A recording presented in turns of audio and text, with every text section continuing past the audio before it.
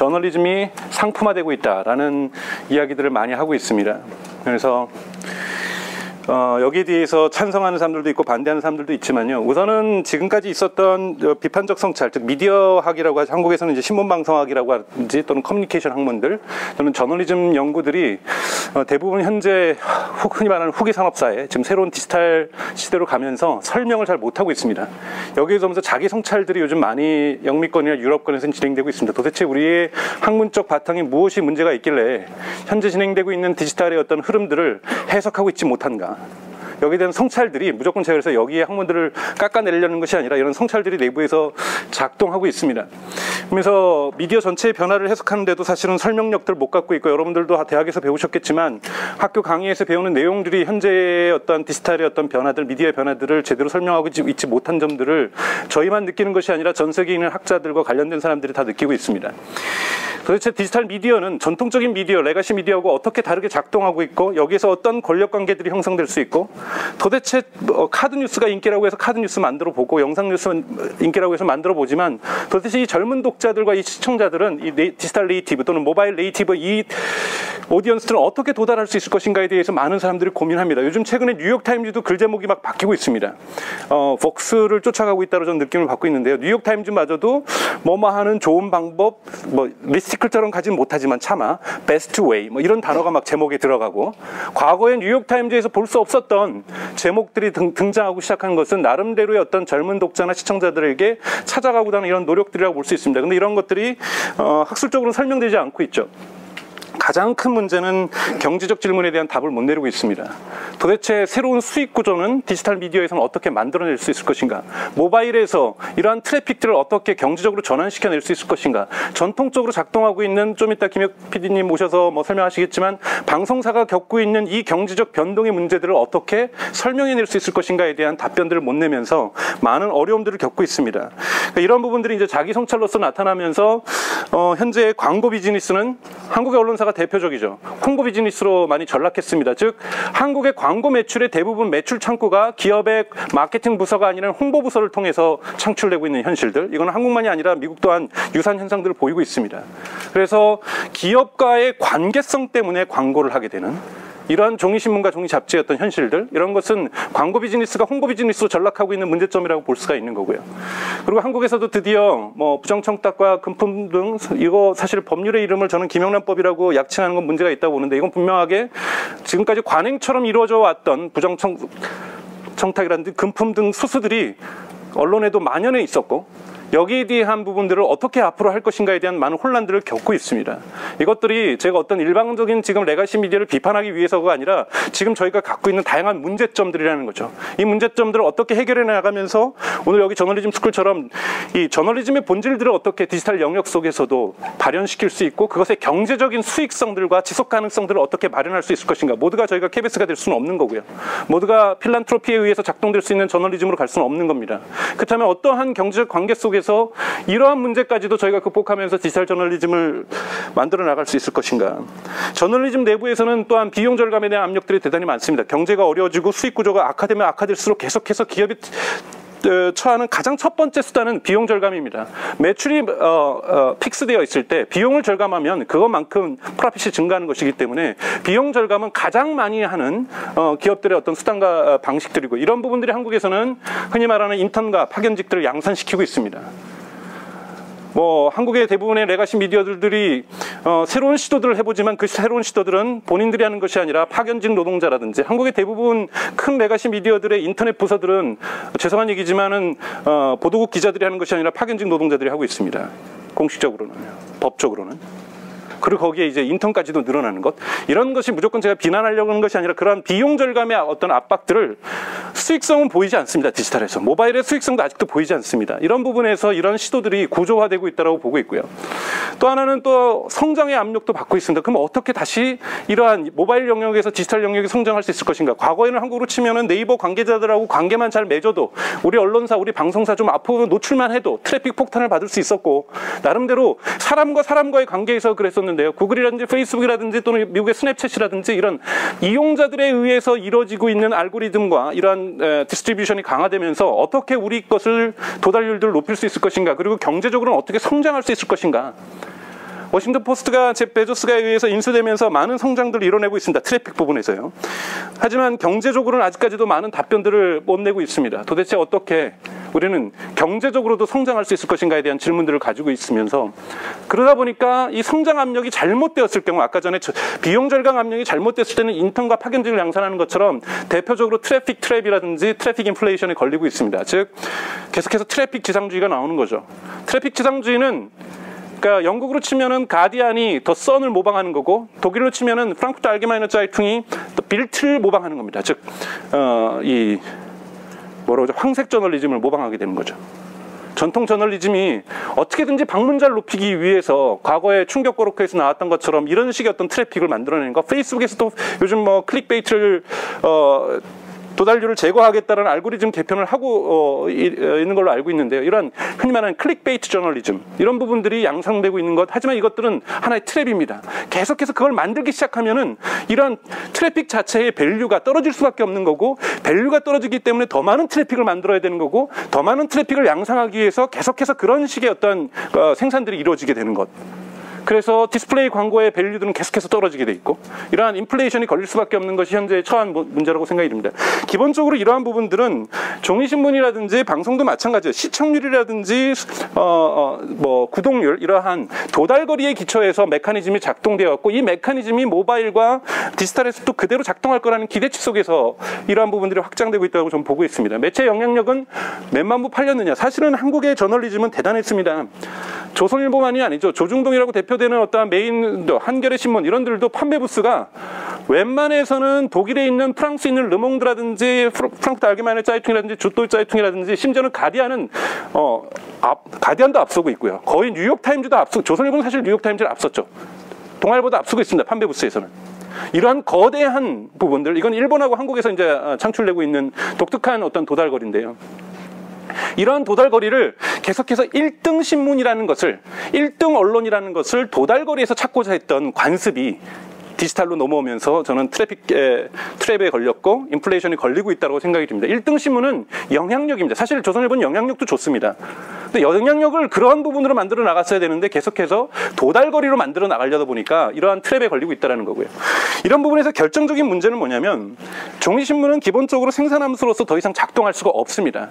아무리 내가 종이의 가치를 인정하고 저도 종이 신문 좋아합니다. 개별적인 테이스트, 취향하고 관계없이 산업적으로 볼 때 종이신문은 더 이상 생산될 수 없습니다. 그것은 생산 함수가 갖고 있는 production function이 갖고 있는 특징인데요. 기본적으로 흔히 말하는 scalability가 만들어져 있습니다. 흔히 말하는 긍정의 생산의 규모의 그 positive returns to scale이라고 얘기를 하죠. 즉 어, 동일한 아웃풋을 더 적은 비용으로 생산할 수 있거나 동일한 비용으로 더 많은 아웃풋을 생산해낼 수 있는 것 어떤 A라는 기업과 B라는 기업이 합병을 한다면 대표적으로 동일한 비용이 들어가지만 더 많은 아웃풋을 만들어낸다면 긍정의 규모의 경제를 만들어낸다고 봅니다.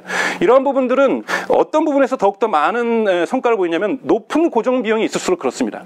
처음에 그 고정 비용까지 수익을 내기는 어렵지만 그 고정 비용이 메꿔지면서 가변 비용이 매우 작을 때 매출은 늘어나지만 비용은 적게 늘어나면 아웃풋은 대단히 커지게 되고 여기에 맞는 프라핏도 상대적으로 급증하게 됩니다. 이것이 지금까지 종이신문이 어, 성과를 부과할 수 있었던 거고요. 문제는 이것이 거꾸로 갔을 경우에는 문제가 발생합니다. 어, 먼저 그림을 보고 좀 말씀을 드리면 어, 종이신문은 어, 뭐 우리 이성기 팀장 잘 알고 계시지만 퓨가 분석한 거에 따르면 전체 비용 중 종이 및 인쇄 비용이 25에서 35, 그 다음에 배달 및 유통 비용이 30에서 40%입니다. 사실상 fixed cost이죠. 이 픽스 코스가 대단히 높고 흔히 말하는 기자들 비용이라든지 인건비 비율이 한 30%에서 정해져 있습니다. 이것을 variable cost라고 얘기할 수 있죠. 이 픽스 코스가 높기 때문에 매출이 적든 아니든 간에 cost가 대단히 높아집니다. 하지만 점점 점점 매출이 늘어나는데도 불구하고 비용은 늘, 적게 늘어나게 되는 거죠. 이쯤 되면은 수익률이 대단히 높아집니다. 뉴욕 타임즈는 1980년대와 90년대 20%가 넘는 수익률을 보이고 있었죠. 기업이 20, 20% 넘는 수익률을 보인다는 건 어마어마한 겁니다. 여러분 현대자동차가 7%에서 8%로 왔다 갔다 합니다. 20%를 넘기는 데는 구글도 있고요. 애플도 있고 요즘 디지털 기업들이 20%를 넘기죠. 40% 50%까지 넘기긴 하지만 전통적인 기업 구조에서 10%를 넘기는 건 대단히 잘하는 겁니다. 근데 뉴욕 타임즈가 20%까지를 2000년까지 1999년에서 2000년 2001년까지를 넘기고 있었습니다. 엄청난 수 익률을 보이고 있었던 거죠. 사실상 돈을 찍어내고 있었던 겁니다. 종신문이 아니라. 그런데 이것은 거꾸로 만약에 어, 도달벌이가 줄어들기 시작하면은 마찬가지로 고정 비용을 유지하기 어, 할수 없는 배신이 발생하게 됩니다. 즉 일이 줄어버리는데 매출은 줄어버리는데 눈에 띄는 비용 구조는 줄어드는 게 별로 없는 거죠. 그러면서 기업 경영진에서 느끼는 체감적으로 느끼는 프라핏의 급속한 감소가 느껴집니다. 당장 마이너스 성장은 아니지만 프라핏에 갑자기 떨어지는 거죠. 왜? 매출은 확 줄었는데 비용은 거의 줄지 않은 거죠. 성장할 때는 비용이 적게 늘어나면서 매출이 늘었는데 그때는 좋았는데 지금 되게 어려운 것은 매출은 확 줄어가고 있는데 비용은 거의 줄지 않고 있는 겁니다. 이러한 부분에서 어, 이 생산하면서의 문제점들 있죠. 성장할 땐 좋지만 이것이 배신을 내리면서 하락할 때는 대단히 치명적인 어, 어려움을 겪게 됩니다. 이것이 바로 조선 산업이죠. 철강 산업이고 자동차 산업이 전형적으로 유사한 경우를 가, 가, 가진다고 볼 수 있습니다. 이런 부분들이 이제 어, 구조 조정을 하는 부분이고요. 이게 이제 후기 산업사에서 제가 말씀드리고자 하는 전통적인 산업사에서 작동했던 경제 논리가 더 이상 현재 저널리즘에서 작동하지 않는다라는 부분. 경제 부분도 마찬가지고요.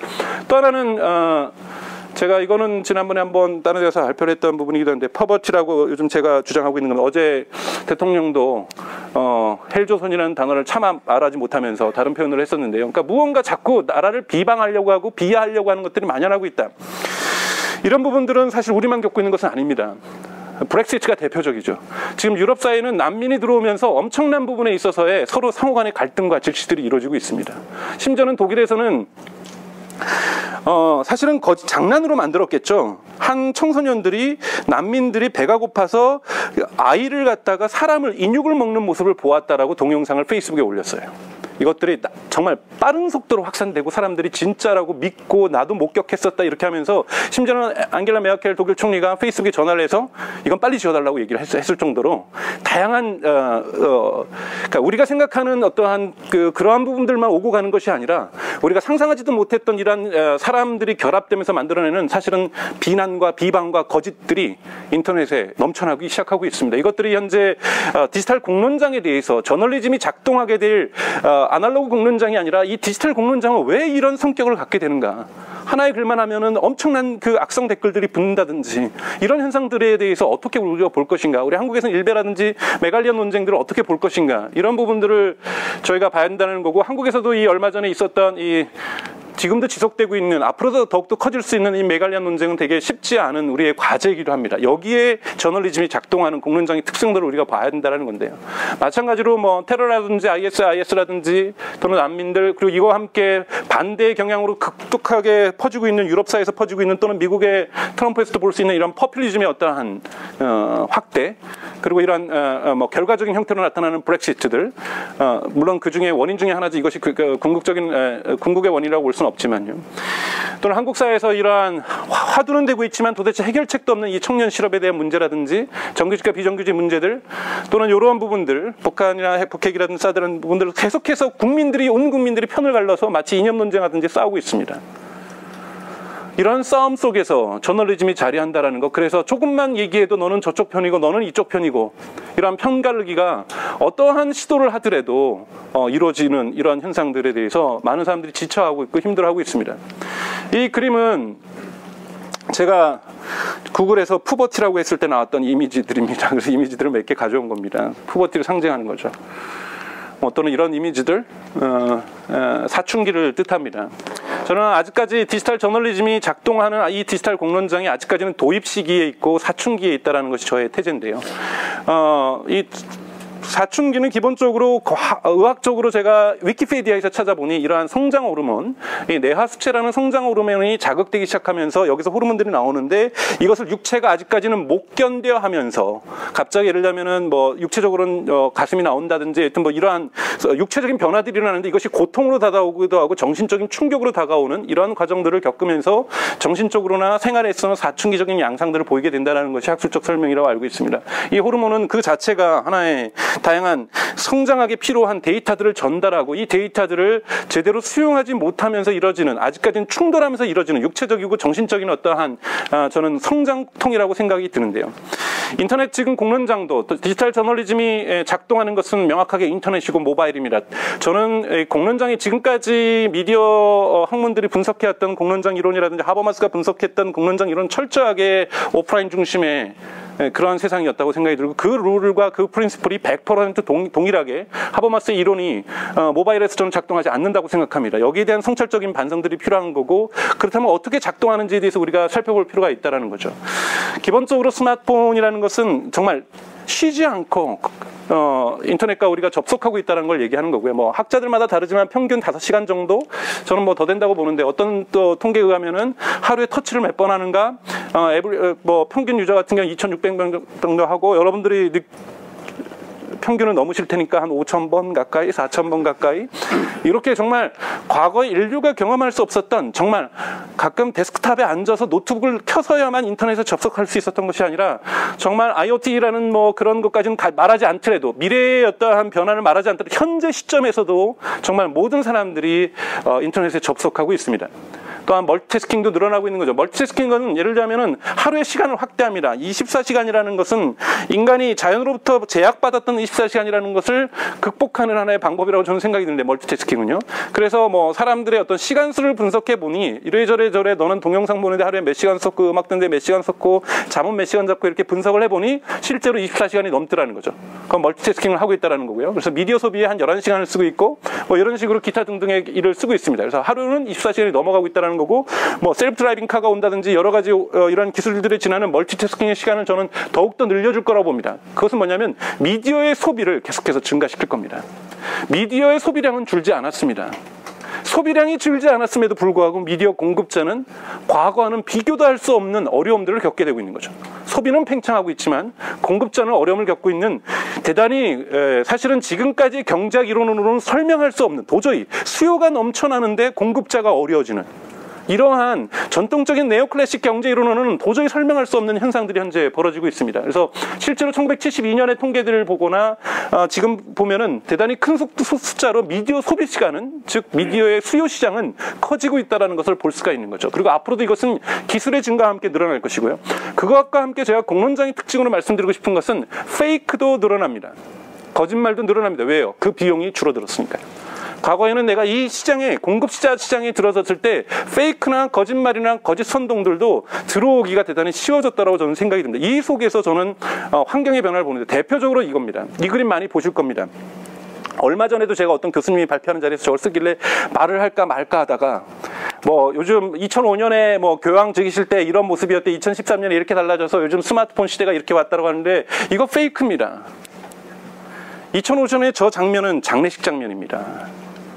저 사진을 누군가가 만들어서 올린 다음에 많은 사람들이 시대 변화를 이걸로 그림으로 보셨죠, 이 그림들.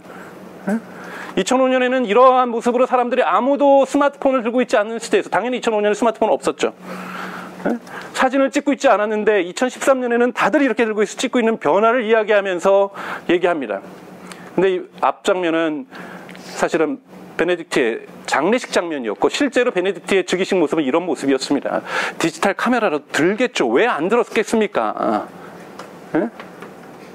그런데 이, 이 그림을 많은 언론인들이 많은 지식인들이 시대의 변화를 발표하는 상징적인 그림으로 사용하고 있습니다. fake죠. fact check가 안 된 겁니다. 이러한 부분들이 발생할 수 있는 것들 또는 이 여자분이 대단히 2년 전에 유명했었죠. 어, 판덴보른이라는 네덜란드 여성입니다.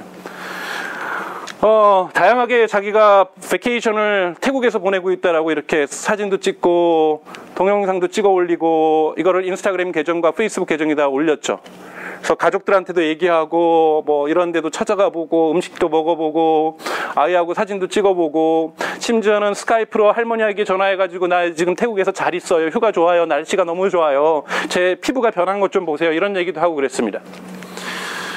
이건 다 페이크입니다. 그녀가 석사 졸업 논문으로 인터넷에서 페이크가 얼마나 쉬운지를 보여주기 위한 입증 논문으로 이 작업을 했고 실제로 이 졸업 논문은 만점을 받았습니다. 부모님까지 속였으니까요. 실제로 이러한 공간에서 자기 방을 이렇게 꾸민 다음에 이렇게 했었고 영상도 보면은 포토샵으로 다 바꿔버린 거죠. 동네 수영장 가서 수영하고서 색상과 색깔을 다 바꾸면서 이렇게 했습니다.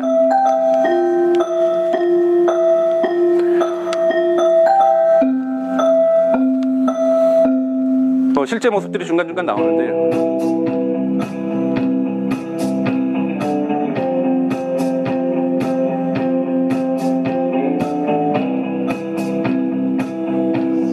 어, 피부색은 동네 당연히 선텐한 거고요. 이게 동네에 있는 수영장입니다. 네덜란드.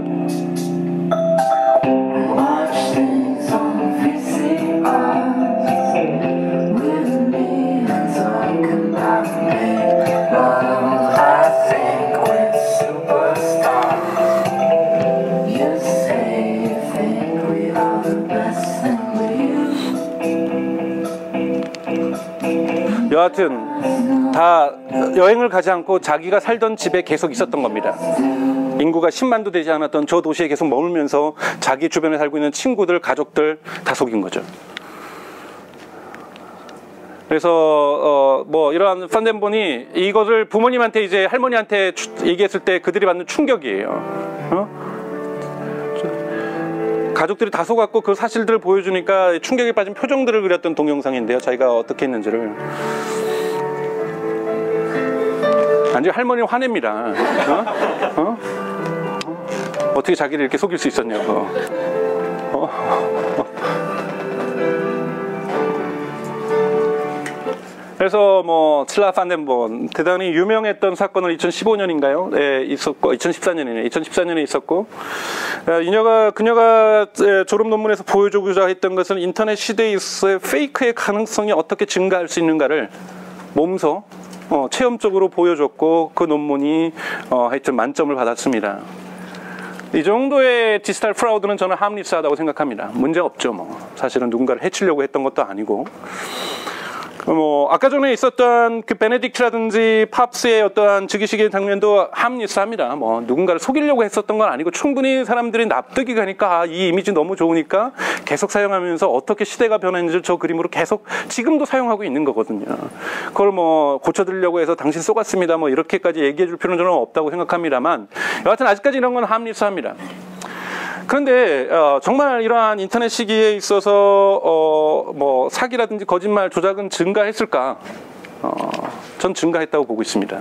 진실도 증가하지만 예를 들자면 하나 보겠죠. 오늘 하루 동안 뭐 꼭, 꼭 나쁜 의미에서 거짓말은 아니지만 배고픈데 배 안 고프다 그러고 뭐뭐 기분 별로 안 좋은데 기분 좋다 그러고 여기 분위기 별로도 안 좋은데 분위기 너무 좋네 이렇게 해서 거짓말 한 번이라도 하신 분 손 들어 보세요.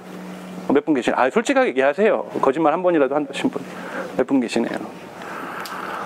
역사적으로 볼 때, 어, 원래는 남자들이 거짓말을 적게 했었는데 요즘 남자들이 더 거짓말을 많이 하고 있다고 합니다. 하루에 거짓말을 한 21번까지 하고 있다고 얘기를 해요. 믿겨지십니까? 이건 제가 이 프레젠테이션을 만들면서 만든 거짓말입니다. 논리적으로 어느 정도 타당성이 있으면 사람들이 믿습니다. 그런 것 같아. 응? 그리고 제가 그 전에 질문했잖아요. 거짓말에 대해서 종류를 나쁜 거짓말이 아니라 그런 합리산 거짓말들을 물어봤었던 거고요.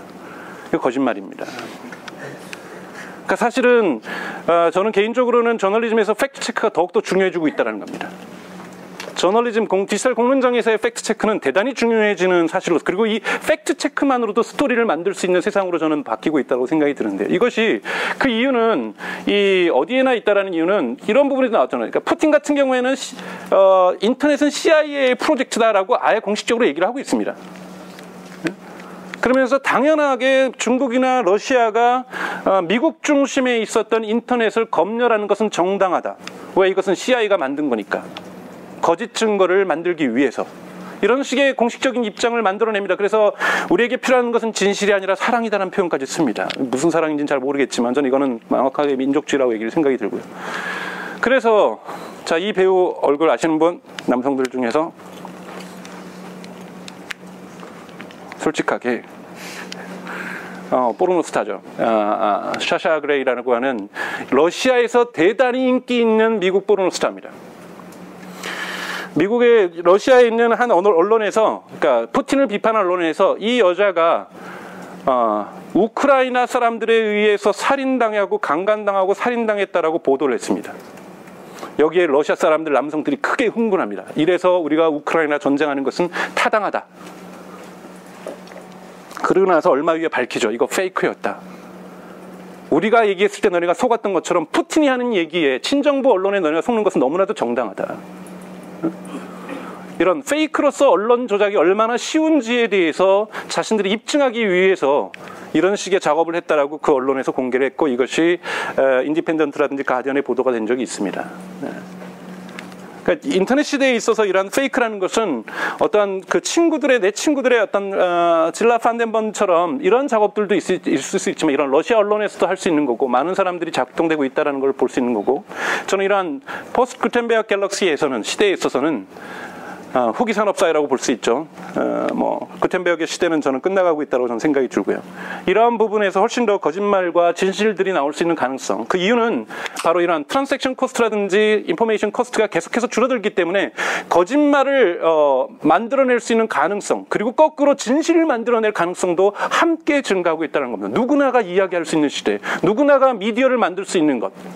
제가 대학에서 강의를 하면서 수업 들었던 학생들한테 꼬드겨가지고 제가 아무런 내용적 겨, 어, 기여는 안 했지만 어, 코멘트는 안 했지만 스- 어, 미스핏츠라는 것들이 만들어졌었습니다. 그때도 제가 얘기했던 거는 자꾸 어, 종이 뭐- 뭔가가 아니라 그냥 하고 싶은 말을 일단 블로그로 만들어 놓고 저널리즘처럼 시작하는 것. 그냥 하고 싶은 이야기들, 어, 소리 지르고 싶은 얘기들, 데몬스트레이션에서 이야기하고 싶은 것을 글로 적어내고 그것을 저널리즘으로 만들어내려는 노력들이 대단히 가능한 시대로 가고 있지 않는가. 여러분들도 여기 끝나고 나서 또는 이번 프로그램 중에 하나의 창업을 할 수가 있습니다. 미디어를 만들 수 있죠. 이런 비용들이 계속해서 낮아진다는 것은 좋은 의미에서의 가능성들도 열리지만 페이크의 가능성도 무한하게 열리고 있습니다.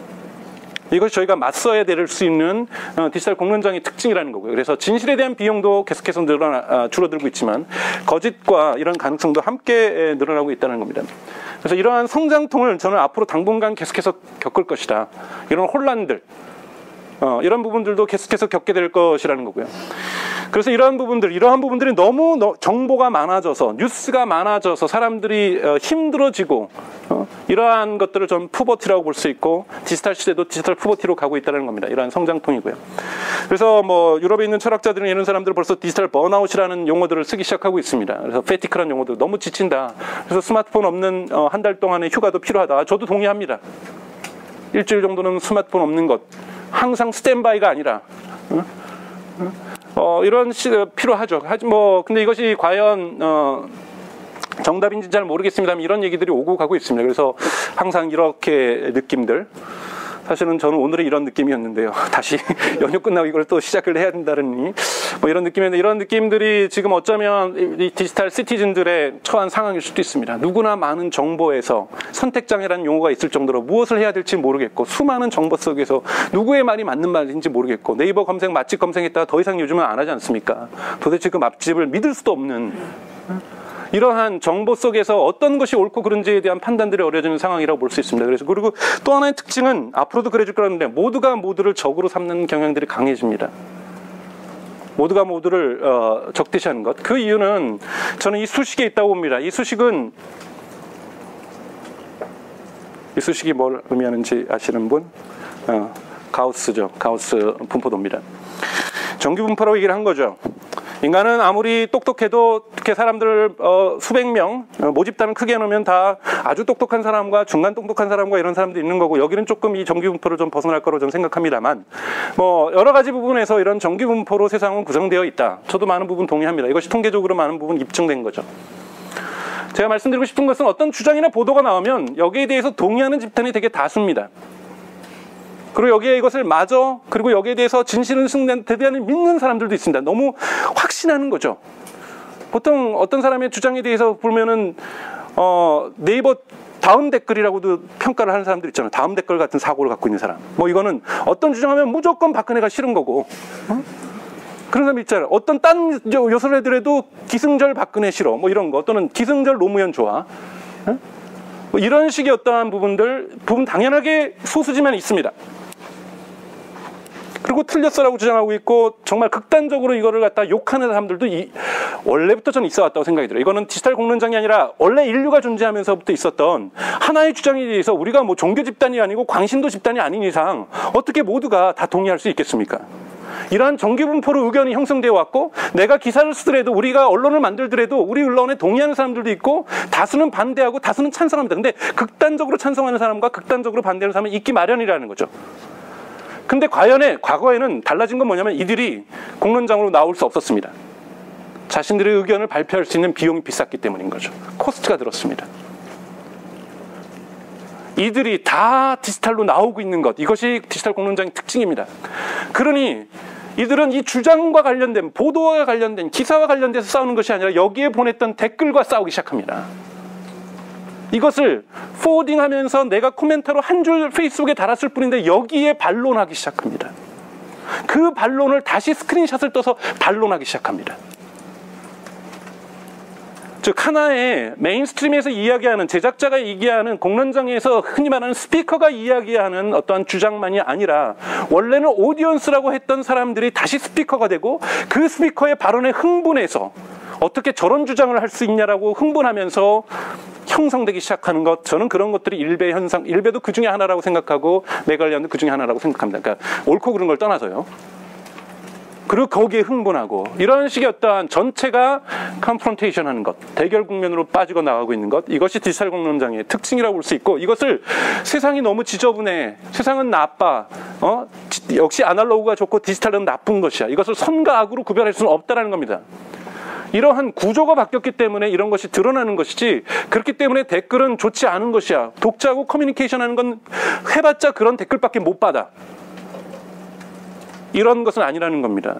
이러한 구조적인 특성 속에서 디지털 공론장은 그 성격을 변화시켜내고 있는 거고 우리가 결코 부정할 수 없는 이 confrontation의 어떤 문화들 저는 이것이 puberty에서 사춘기의 어떤 성장 과정에서 우리가 겪을 수밖에 없는 거고 이것을 어떻게 이겨낼 것인가 어떻게 아까 말했던 성장통이라고 말씀드렸던 것처럼 어떻게 우리는 이것을 극복할 것인가. 근데 극복한다는 것은 이, 이들이 없는 세상이 아닙니다.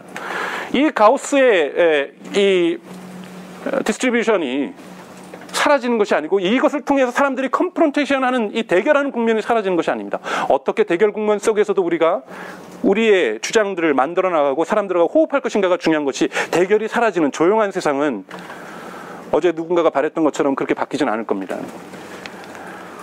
그래서 저는 또 하나의 대결 국면들이 많이 논쟁이 되고 아마 저널리즘 요번 교육을 하는데도 나올 거예요. 뭐 여기 공간을 어, 하고 많은 후원을 해주시는 구글도 하나의 플랫폼이고 많은 publisher들이 이것을 대립 국면으로 봅니다.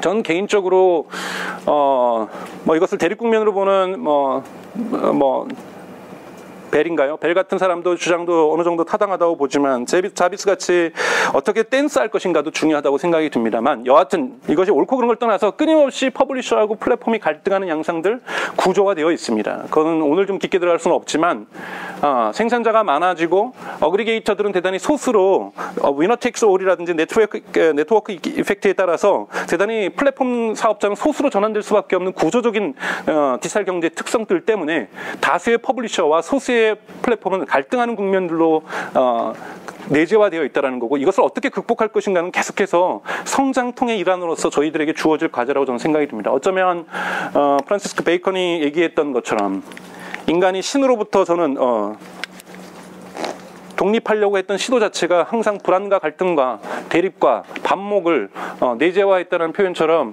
계속해서 어쩌면 인류가 맞게 될 하나의 흐름이라고 저는 생각이 듭니다.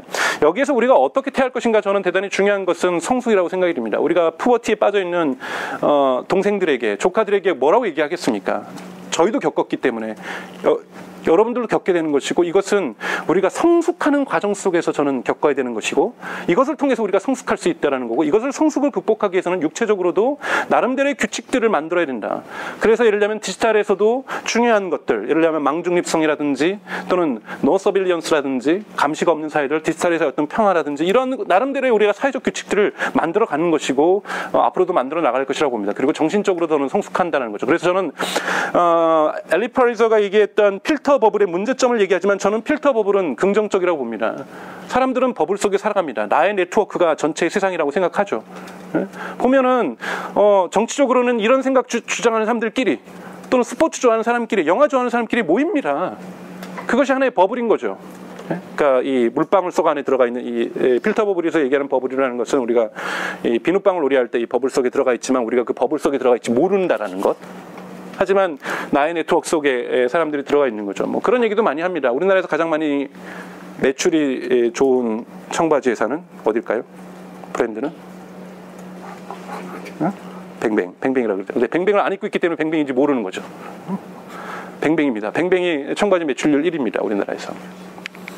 자기의 세계가 아니기 때문에 어, 잘 모른다고 얘기하죠. 그러면서 저는 어, 그 말씀드리고 싶은 건 이 필터는 필요합니다. 그래야 내가 peace, peace를 얻을 수 있고 거기 필터끼리 모여서 끼리끼리 모는 게 어떻습니까? 그거를 너무 비난하기보다는 오히려 어떻게 필터를 계속해서 개선할 것인가, 필터를 진화시킬 것인가 이런 것들이 사회가 고민해야 되는 거고 그냥 농담 삼아서 말했던 댓글에다가 발끈해가지고 너는 메갈리아야, 너는 일베야라고 막 싸우는 이런 것보다는 조금은 성숙한 태도들이 정신적으로 거리감을 두는 태도들이 많이 필요하다고 저는 생각이 듭니다. 그래서 뭐 거꾸로 보는 것, 박쥐를 거꾸로 하면 이런 모습이라는 것. 그리고 또 하나 이제 뭐 저널리즘하고도 중요한 건데요. 인포메이션이라고 하는 디지털에서 가장 중요한 것은 보통 데이터하고 context로 구성되어 있다고 생각합니다. 그건 뭐냐면 모든 인포메이션은 디지털 인포메이션 포함해서 객관적일 수 없습니다. context가 들어간다는 것은 주관적일 수밖에 없습니다. 객관성이라는 신화는 저는 디지털 시대에서는 완전히 무너져야 된다고 생각이 들고 오히려 디지털 시대에서 이런 객관성의 신화가 부정될 수밖에 없는 것, filter bubble들, 그래서 선택적 인지를 사람들이 많이 하게 되는 것. 그래서 나는 믿고자 하는 사실만 그 사실도 풍부합니다. 이거를 이제 파하드 만주 같은 경우는 True Enough라는 책에서 한국어로는 이기적 진실이라고 번역됐죠. 사람들의 선택적 인지가 디지털 시대에서 더욱더 강화됐다는 거 왜요? 훨씬 더 정보를 찾기 쉬워졌기 때문에 information cost가 줄어들었기 때문에 911은 이건 CIA CIA 작품이야라고 믿는 사람들은 그거를 믿을 만한 근거들이 충분히 있다는 겁니다. 디지털 속에서 과거에는 그런 정보를 찾기 너무 어려웠는데 자기가 믿고자 하는 세상을 건설할 수 있고 그릴 수 있는 정보는 enough하게 충분하게 많습니다. 이것이 사람들을 편협하게 만든다는 거고 싸우게 만든다는 주장도 있습니다만 그렇게 가능할 수밖에 없는 것은 바로 information은 context를 갖고 있는 거고 이것은 해석의 여지를 갖고 있는 거고 주관적일 수밖에 없다라는 거죠. 그래서 저는 neutral information 없다라는 거고요. 그래서 이러한 puberty의 어, 상황을 조금 adventure로 좀 생각하고 여유 있게 좀 바라볼 수 있는 것. 저널리즘 하면서 이런 댓글 어, 그런 이제 에세이는 그만 쓰셔야 돼요. 댓글 논쟁들을 얘기하면서 저널리즘 그러니까 공론장의 특징들에 대해서 뭐 얘기하면서 수기 민주주의가 우리는 부족하고 이렇게 저, 이렇게 싸우는 모습들은 흔히 말하는 선진국이라고 하는 유럽이나 미국도 마찬가지로 있습니다. 어쩌면 더 크게 이루어지고 있고요. 이것이 한국 사회 문제만은 절대 아니라고 저는 생각이 들고요. 디지털 공론장에서 구조적으로 일반화될 수 있게 나타나는 현상이라고 볼 수 있습니다. 그래서 이러한 탄력성들, 회복력들, 어, 우리 사회 자체도 이런 회복성들을 가질 필요가 있다는 게 저의 생각이고요. 어, 또 이제 세 번째 이제 문제에 들어가면 이거는 제가 많이 주장하는 겁니다. one size fit all이라는 어, 버즈피드에서 만들었던 영상이 있습니다. 오늘 뭐 시간 관계상 이 영상을 볼 건 아닌데요. 즉, 그러니까 free size 옷이죠. 하나의 사이즈로 여성들에게 특히 여성들 옷이 많죠. 남성들은 이제 어, 모자들 정도만 있- 있는데요. 하나의 사이즈에 맞춰서 이것이 표준 사이즈처럼 강, 강요하는 듯이 그 사이즈만 만들어내는 옷가 어, 어, 브랜드들 문제 있죠. 어, 요즘 많이 비판을 받고 있습니다. 근데 사실은 저널리즘이 그렇습니다. 항상 6천만 국민을 생각하고 우리의 독자가 기- 비록 30만이라도 항상 6천만 국민을 생각하면서 우리는 공기로서 공적 기능을 다하는 기능으로서 얘기를 합니다. 그래서 공적 기능이 저널리즘에 없다는 건 아니지만 항상 그래서 한겨레 신문이나 경향 뭐 마찬가지고 중앙일보나 조선일보도 마찬가지고 네이버나 다음 들어가도 항상 뉴스는 똑같습니다. 초등학생이 로그인을 하나, 대학생이 로그인을 하나, 비정규직이 40대 비정규직이 로그인을 하나, 60대 저희 아버님이 70대 저희 아버님이 로그인 하나 화면이 똑같습니다. 원래 9시 뉴스, 8시 뉴스가 그랬죠.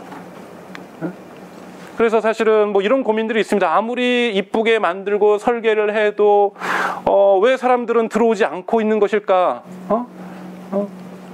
나름대로 준비하고 실효에 맞게 설계하고 사이트에 또 구축하고 이건 이제 SBS 얘기를 하는 겁니다. SBS는 그 고민을 잘했는데 왜 들어오지 않는가라고 어, 아주 대표적인 사람이 이야기를 했습니다. 저는 거기에 답변이 하나입니다. 똑같습니다. 6천만 국민에게 저 앱을 똑같이 만들었습니다. 서로에게 이해도 다르고 관심도 다른데. 한번 생각을 해보시죠. 만약에 우리가 어떻게든지 성공을 했어요. 10%를 스스로 로그인을 합니다. 그러면 우리가 패턴을 분석할 수 있죠. 일주일 동안 강정수는 정치 뉴스를 한 번도 클릭하지 않았어요. 근데 그렇다고 해서 아 강정수는 원래 정치에 관심 없으니까 대중 추수주의라고 비판할 수 있- 있습니다만 정치 뉴스를 계속해서 전면에 또는 리오 올림픽에 대해서 저는 진짜 스포츠에 관심 없습니다. 한 번도 저는 보지도 않았어요, 사실은. 이번에 어, 볼트가 썼던 뭐 그 얼굴 표정 이거나 좀 보면서 재밌으면서 깔깔거렸지 뉴스 보지 않았습니다. 그런데 계속해서 제가 다음이나 네이버 뭐 잘 들어가진 않지만 들어가면 요즘 들어가면 계속해서 리오 올림픽, 리오 올림픽 안 들어가게 돼요, 저는. 왜 똑같아야 됩니까? 이것은 legacy의 어떠한 전통들이 그대로 오고 있다는 거죠. 달라야 됩니다. 사람마다. 새로운 personal 필터가 만들어지듯이 페이스북에서, 트위터에서. 끊임없는 필터들을 제공해 줄 수 있어야 된다고 생각이 듭니다. 그래서 스포츠 뉴스를 클릭하지 않는다면 어떻게 할 것인가, 정치 뉴스를 클릭하지 않는다면 어떻게 할 것인가, 이런 고민들을 해야 되는 거고, 현재 뉴스 서비스는 one size fit all입니다. 강제하고 있고 강압하고 있는 거죠. 생산자 중심에서. 이것은 산- 산물이고 모바일 시대의 잘못된 전략이라는 겁니다. 그래서 가장 크게는 문제 이거죠. 자발적 로그인을 어떻게 만들어낼 것인가. 저는 이것이 유료화보다 더 중요하다 봅니다. 자발적 로그인을 할 정도의 loyalty, 충성도가 있어야 그리고 그것에 대한 motivation이 있어야 매력적인 웹사이트를 만드셔야 그 다음에야 플랫폼하고 경쟁하고 싸우실 수 있습니다. 우리에게서 부족한 것은 무엇인지에 대해서 끊임없이 저는 성찰할 수 있어야 되고 UI, UX만이 아니라 가장 중요하게 우리의 오디언스와 우리의 독자들이 우리에게서 신뢰하고 우리를 믿고 우리를 기대하고 흥분하면서 기다리게 할 수 있게끔 어떻게 할 것인가. 자발적 로그인을 만드는 것. 그래서 크레이셔키도 얘기했지만 이러한 information을 뉴스라고 만들어 바꿔도 생각하셔도 됩니다. 뉴스 overload. 그러니까 뉴스의 과잉, 정보의 과잉이 중요한 것이 아니라 필터를 제대로 못 만들어서 작동하지 않아서 시대의 문제점이 발생한다고 얘기합니다. 지식인도 저는 하나의 필터라고 생각합니다. 위키피디아도 하나의 필터입니다. 언제까지 20년 지나도 여러분들이 결혼해서 뭐 결혼하든 안 하든 애를 낳고 그새 조카를 어떤 동생을 어떤 얻었는데 그 친구도 지식인 보면서 어? 역삼동 파이낸스 센터는 뭐 이런 거를 못 본, 찾는다니. 이런 시대가 얼마나 불행한 시대입니까? 20년 뒤에도 똑같이 네이버를 보고 있는 것. 20년 뒤에도 페이스북을 보고 있는 것. 이것이 아니라 계속해서 어떻게 필터를 진화시킬 것인가. 어떻게 그가 보다 나보다는 더 효과적으로 정보를 취합하고 판단할 수 있고 성숙할 수 있는 이러한 필터를 만들 것인가 끊임없는 고민들이 있어야 된다고 저는 생각이 들고 그래서 필터 innovation이 대단히 중요한 시대적 과제로 제기되고 있다고 생각합니다. 이걸 위해서는 데이터 분석이 있어야 되겠죠. 이번 전체 과정 속에서 데이터 분석에 대한 중요성들은 여러 차례 듣게 되실 텐데요. 데이터 분석 없는 없이 필터를 innovation 할 수 없습니다. 데이터 분석 없이 어떠한 전략적 접근, 어, 어떤 approach 방법을 어떻게 할 것인가는 전혀 나오지 않습니다. 그냥 감으로 나오는 거죠. 데이터의 중요성인 거고요. 그래서 어, 얘기하는 거죠. 이 마이클 쉔벅 자체가 그러니까 이 펄프픽션이나 이런 만들었던 영화 제작자. 그러니까 나이하고 관계 없습니다. 이렇게 나이 많은 70이 넘으신 마이클 쉔벅도 어, 버즈피드 일하면서 뭐라냐 R&D의 중요성을 얘기합니다. 내가 평생 헐리우드 일하면서 이렇게까지 버즈피드처럼 R&D를 많이 한 데는 처음 봤다라는 거예요. 버즈피드가 그렇게 장난스럽게 만드는 것 같아도 끊임없이 R&D를 합니다. 어떻게 모바일 유저들은 어떻게 작동하는지 그들은 심장을 어떻게 다르게 뛰는지 그들의 DNA는 어떤지 이러한 부분에 대한 끊임없는 연구 속에서 어, 답, 답들을 찾아갈 수 있다고 생각이 듭니다. 어떤 정해진 답이 있는 것이 아니라요. 모바일 시대 어, videofication of everything이라고 얘기를 할 수 있습니다. 모바일 시대가 찾아오고 있는데 뭐 워낙 많은 동영상을 보고 있는 거 페이스북이라든지 스냅챗 그다음에 유튜브 뭐 이런 식의 어떤 동영상 부분들이 많이 진화되고 있습니다. 또는 최근에 미국 같은 경우에는 인스타그램을 더 이상 이미지 SNS라 부르지 않기 시작했습니다. 저널에서는. 워낙 동영상들이 소비가 많아지고 있고 동영상들 많이 올라가고 있기 때문인 거죠. 사실은 트위터도 여러분 한번 요즘 켜보세요. 140자만 적는 거에서 보면은 동영상, 생방송, 사진, 사진도 찍으면 어떻게 나옵니까? 스냅챗처럼 스티커 찍는 거 나오는 거죠. 140자 글자 찍으려고 어, 트위터를 계속한다면 3, 3G의 환경으로도 인류가 존속할 때까지 저는 충분하다고 생각합니다. 왜 인류가 물론 돈 벌려고 하는 것도 있겠지만 4G나 5 시대로 가려고 합니까? 텍스트만 하려고 저는 그렇다고 보지 않습니다. 이미지와 동영상은 대단히 중요한 커뮤니케이션의 매체로 가는 거고 저는 그래서 텍스트를 저는 개인적으로 대단히 좋아합니다. 텍스트가 필요 없다는 얘기는 아니에요. 근데 텍스트에 어울리지 않는 포맷은 전 다 동영상으로 가야 된다는 생각 저는 그런 주의인데 이걸 여러분들이 강조하지는 않을 거고요. 다만 텍스트로 읽 모바일 시대도 텍스트로 조- 읽어야 되는 것들은 더욱더 모바일에서도 읽기 편하게 활용하기 편하게 텍스트로 가야 된다는 거지만 굳이 텍스트로도 안 가도 되는 것들은 저는 대부분 동영상으로 가야 된다고 생각하는데 그 이유는 바로 이용자들이 우리의 디바이스가 동영상에 가장 최적화되어 있기 때문 입니다. 그래서 뭐 버즈피드의 컨텐츠 한번 보십시오. 파란색이 동영상입니다. 지난 2013년에서 2016년에 있어서 이 빨간색의 텍스트나 이미지 listicle이에요. 올해로 오면서 동영상 소비가 폭발적으로 증가합니다. 버즈피드는 이제 동영상 사업자입니다. 생산량으로 볼 때는, 아니 소비량으로 볼 때는 소비자들이 폭발적으로 보기 시작하고 있습니다. 저는 이 속도가 더욱더 증가될 것이라는 거고 여기에 맞는 narrative를 찾아내야 됩니다. 그래야 우리한테 우리의 core 메시지를 전달해 줄 수 있습니다. 우선 우리에게 관심도 안 갔는데 어떻게 core 메시지를 전달합니까? 모바일에 맞는 narrative를 어떻게 만들 것인가? 어떻게 우리의 core 메시지까지 그들이 도달하는 경로들을 만들어 줄 것인가에 대한 고민들이 계속 있어야 되는 거예요. 모바일 라이브도 늘어나고 있죠. 유튜브도 곧 모바일 라이브를 시, 시작을 하고 있고 페이스북도 모바일 라이브가 다양해집니다. 그래서 뭐 publisher들 위해서 돈도 엄청나게 지급을 했고요. 그래서 실제로 버즈피드한테는 이만큼 줬고 뭐 이거는 이제 페이스북이 어, 라이브 기능을 살리기 위해서 미국 언론들에게 준 거지만 축구팀들에도 줬습니다. 레알 마드리드라든지 뭐 이런 데도 줬고요. 연예인들에게 셀럽에게도 줬고요. 이 부분 계속해서 진화될 것입니다. 텀블러도 지금 라이브 도입을 했고요. 지금 여러분들 이거 써보셨어요? 이 MS, 어, MSQRD? 이 앱을 다운받으면 마스크, 스냅챗처럼 마스크 한 다음에 라이브 방송, 페이스 라이브 누르면 페이스북 라이브로 연결되는 거죠. 이런 기능만 제공되는 것이 아닙니다. 페이스북 라이브 9월부터 그 A-roll과 B-roll이 제공됩니다. 제가 여기 있으면서 국회에 내가 제 친구가 페이스북으로 모바일로 라이브를 하면은 소비자들은 이용자들은 하나의 화면에서 두 개의 라이브를 볼 수 있습니다. 이제. 자, 손, 손석희 씨가 어, 진행하다가 국회에 있는 기자하고 이렇게 직접 라이브 하잖아요. 그럼 항상 소리 끊겨요. 그러게 근데 그걸 하기 위해서도 대형 방송 촬영이 나가는 시대입니다. 지금도. 근데 이제 스마트폰으로 내가 여기 있으면서 워싱턴과 라이브를 하나 찍어가지고 소비자들은 하나의 라이브 화면을 볼 수 있는 시대로 저, 진화되고 있습니다. 저는 앞으로 이 테크놀로지는 더욱더 진화할 거라고 봅니다. 이제 이 기술이 방송에 지금까지 있었던 고, 고비용 구조를 완전히 무너뜨리고 있습니다. 과거에는 블로그가 종이신문의 고비용 구조를 깨치면서 윤정기의 고비용 구조를 깨치면서 새로운 시장을 열었다라면 이제 동영상이 방송국에서나 가질 수 있는 높은 고비용 구조를 깨뜨리면서 누구든지 방송할 수 있는 시대로 그것도 라이브 방송할 수 있는 시대로 진화하고 있다는 거죠. 여기에 어떻게 저널리즘이 대응할 것인가? 여기에 어떤 내러티브로 우리는 그들과 함께 호흡할 것인가? 이것이 저에게 주어진 과제입니다. 여기에 답변하지 못하면 앞으로의 어떤 저널리즘 발전에는 저는 답은 없다고 저는 생각이 들어요. 이러한 배경에는 뭐 우선 플랫폼 사업자 입장에서 명확하게 에드마켓이죠. 광고 시장입니다. 어 뭐 여러분 분석이 됐지만 11배 정도가 더 높다 그래요. 동영상 광고의 효과가 11배 정도 특히 페이스북 같은 건 어마어마합니다. 왜냐하면 페이스북에서 동영상 하나 보시면 그 다음에 광고 동영상 나오잖아요. 이 클릭률이 어마어마하게 높습니다. 당연하게 플랫폼 사업자, 유튜브 입장에서도 마찬가지고요. 그러니까 플랫폼 사업자 입장에서는 동영상 시장이 활성화되는 것이 좋습니다. 광고 시장에 있어서의 성장이 보존되니까요. 하지만 어, 이용자도 동영상을 선호합니다. 이거는 이제 재밌는 통계인데요. 페이스북에서 가장 많이 하는 행위 1위가 라이크 누르는 겁니다.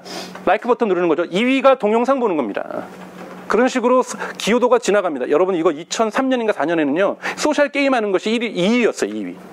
그러니까 게임은 사라졌습니다. 페이스북에서. 우리가 말하는 소셜 게임의 원형은 페이스북에서 먼저 시작을 했거든요. 2002년 3년에는 소셜 게임이 페이스북에서 가장 많이 하는 행위 중에 두 번째였다면 이제는 watching watching of video가 2위로 올라가고 있다는 거죠. 스냅챗도 마찬가지입니다. 이 노란색이 비디오예요. 스냅챗 처음에는 이미지를 24시간 내에 파괴하는 어, 서비스라고 생각을 해왔어요. 하지만 스냅챗의 사람들이 이제 동영상을 만들고 보기 시작하고 있습니다. 동영상 중심의 플랫폼으로 저는 스냅, 스냅챗은 명확하게 모바일 플랫폼이라고 그러니까 비디오 플랫폼이라고 생각합니다. 비디오 플랫폼으로 진화하고 있다는 거죠. 이런 식의 어떤 플랫폼의 진화가 일어나는 거고요. 그러면서 이제 모바일에 맞는 저널리즘은 무엇인가? 단순하게 디, 스마트폰을 어떻게 활용해서 생산할 것인가? 아이폰 방송국을 어떻게 만들 것인가? 이것도 중요하죠. 하지만 이, 이, 속에서 이 이용자들의 DNA는 어떻게 바뀌었는가? 이걸 분석하는 것이 더 중요합니다. 그들에게 어떻게 접근해야 그들이 그 하루에도 수없이 보는 그 동영상 중에서 우리가 하고 있는 메시지를 좋아하게 만들고 사랑하게 만들고 흥분하게 만들 것인가? 저희가 디바이스 쓴다고 우리도 아이폰으로 찍었어, 우리도 갤럭시로 찍었어 영상을 이건 자랑할 것이 아닙니다, 여러분. 그건 이제 40, 50대 전통 기자분들이 그걸 하는 것 자체도 저도 저는 그런 건 저는 격려해야 된다고 생각하는데요. 여러분들이 해야 될 부분은 아니라고 생각해요. 어떻게 뭐 이건 제가 많이 이야기하는 건데, 그러니까 계속해서 지금까지 있는 저희의 패러다임은 PC적인 패러다임이라는 겁니다. 과거 패러다임이 계속해서 지속하고 있다는 거. 왜냐하면 저희는 본인 모바일 하지 않았어요. 솔직하게 말씀드리면. 제가 보기엔 지금 초등학생들이 본인 모바일입니다. 제가 지난주에 저희 집에 놀러 온 조카들에게 스냅챗을 보여줬더니 어, 제가 보기엔 두 명의 남자애가 딱 경기를 일으킨 것 같더라고요. 그러니까 처음에 제그 친구들이 스마트폰 게임할 때하고 동일한 눈빛과 마시간 눈빛을 보여주면서 어뭐 the hell 그러면서 이, 이거를 어떻게 해석할지 모를 정도로 너무너무 좋아합니다.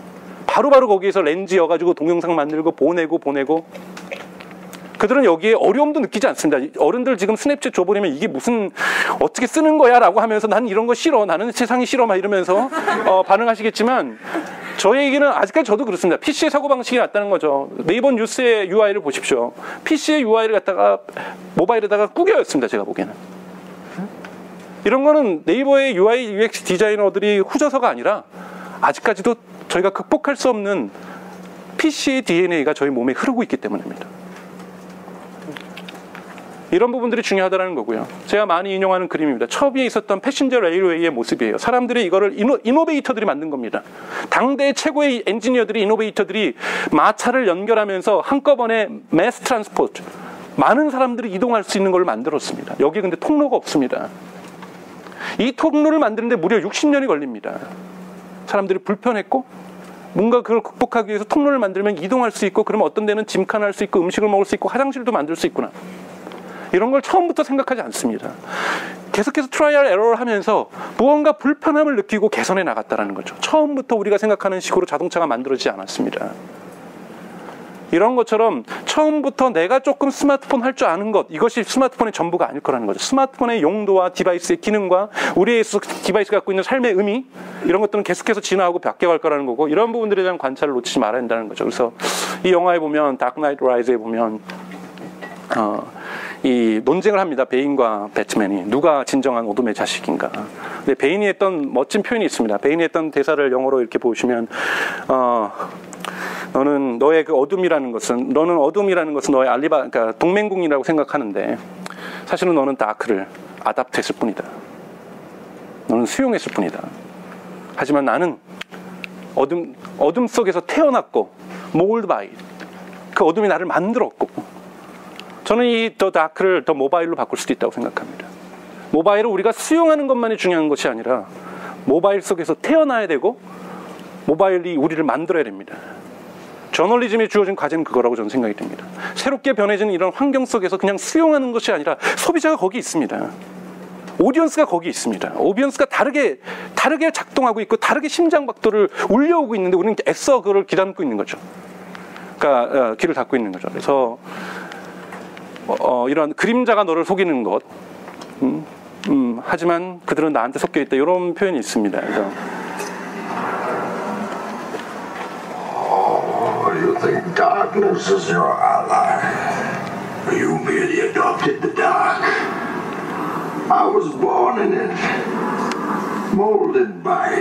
Oh. I didn't see the light until I was already a man. By then it was nothing to me but black. Shadows betray you because they belong to me.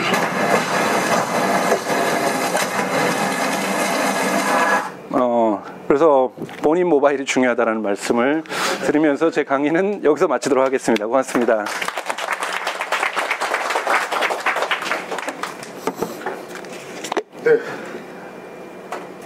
수업 시작할 때 말씀드렸죠? 네. 질문 많이 하셔야 돼요.